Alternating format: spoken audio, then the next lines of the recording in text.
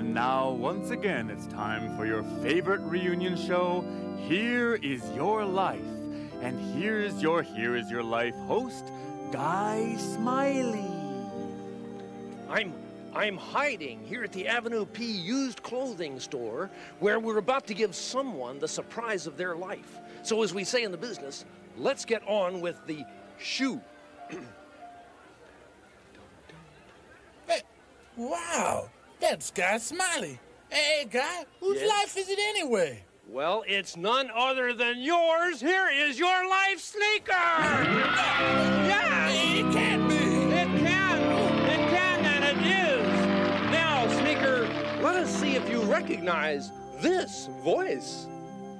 There are two things I always wanted a sneaker to be a good looking and a comfortable.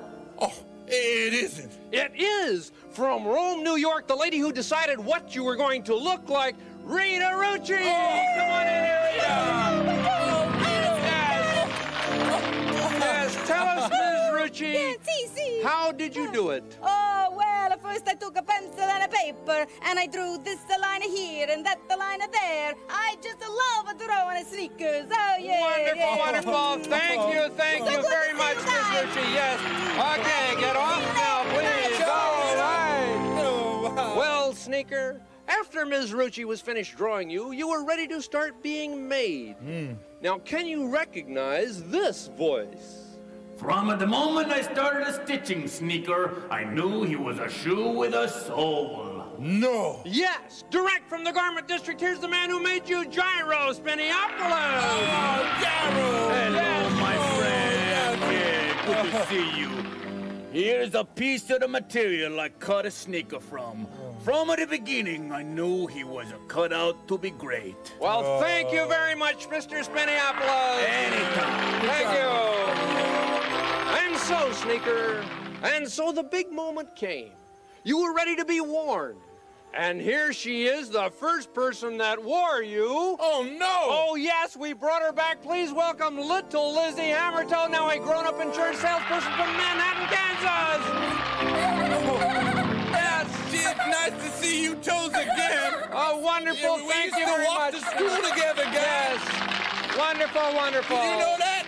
We used to walk to school together. Yes, Sneaker, you used to walk to school together, but little by little, little Lizzie's foot grew. It grew too big for you. Hmm. And you became uncomfortable. Yeah, how well I remember. I gave her a blister. Sad but true. And one day on her way home from school, little Lizzie had to take you off. Hmm. And then she lost you. Yeah. It was the saddest day of my life. A sad day indeed, Yeah. because she wasn't the only one you lost. There was someone else who had always been by your side. Yeah. You were a real pair. Yeah, we sure were. He was like my twin brother until we lost each other. Well, get ready, because here he is. We found him. You couldn't have. We did find him. Here he is from the Mineola Museum of Contemporary Art, formerly a left sneaker, now a modern sculpture. Come on Oh, in. no! Yes. Hi, right? Well, hi, Left. Gee, you, you look pretty good. Well, some people call me a masterpiece. Wonderful, wonderful. Thank you very oh, much. All right. Be funny that way. Yeah. Your other half went on to fame and fortune, but things haven't gone so well for you, have they? No, no, they haven't. You were worn until you were worn out. and then nobody wanted you anymore. What do you mean nobody wants him? Why, he's just what I'm looking for. I am? Oh? Yeah. You'll be perfect for my rotten sneaker collection. Did you hear that, folks? Someone wants Sneaker. Oh, Yes, it looks like he's not washed up after all. Washed up? Lucky thing he isn't, or I wouldn't have him. Well, there you have it, folks. This has been your life sneaker. Wonderful. Yes, come on in, everybody.